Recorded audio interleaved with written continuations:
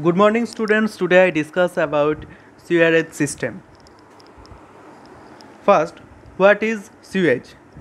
Wastewater may be defined as a uh, combination of the liquid or water carried waste removed from residences, institutions and commercial and industrial establishments together with groundwater, surface water and storm water. Now, what is domestic sewage? Domestic sewage is the liquid waste coming from residential complex. And what is sewer? Sewer is a pipe or conduit which carries sewage. And what is sewerage? Sewerage is the network of sewers used for the purpose of transporting sewage. Now we discuss uh, definition of some common terms that is raw sewage. What is raw sewage? Untreated sewage which is in fresh state that is raw sewage and the sullage sullage is the liquid waste coming uh, flowing from kitchen and bathroom and next is drainage drainage is the runoff resulting from the rainstorms was called to be storm sewage but the modern approach is to call it storm drainage or simply drainage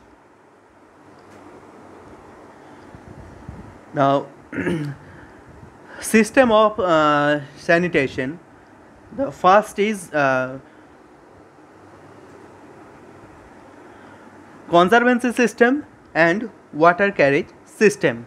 What is conservancy system or dry system? The different types of waste are manually collected separately and transported uh, over vehicles to the outskirts of the city and disposed of by composting method. That is conservancy system. There are some disadvantages that is health hazard to be to the uh, personal handling the sewage and it is uh, in inhuman uh, practice and social injustice. Next is water carriage system. The waste from water closets are called by flushing are collected by flushing with water and this water is used to transport the waste to treatment works by a system of pipes that is water carriage system. And uh, the advantages of water carrier system is it is hygienic but disadvantage is costly. It is uh, very costly. And another advantage is waste strength is reduced by dilution and the waste become more amenable for treatment. Our next slide is wastewater treatment system. First wastewater generation. Next wastewater collection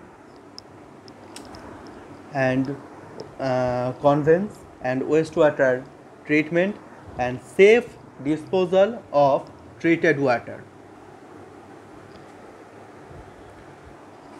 In the next slide system of uh, sewage and their layouts. That is uh, sewerage system they are classified mainly into three types. That is separate system combined system and partly separate system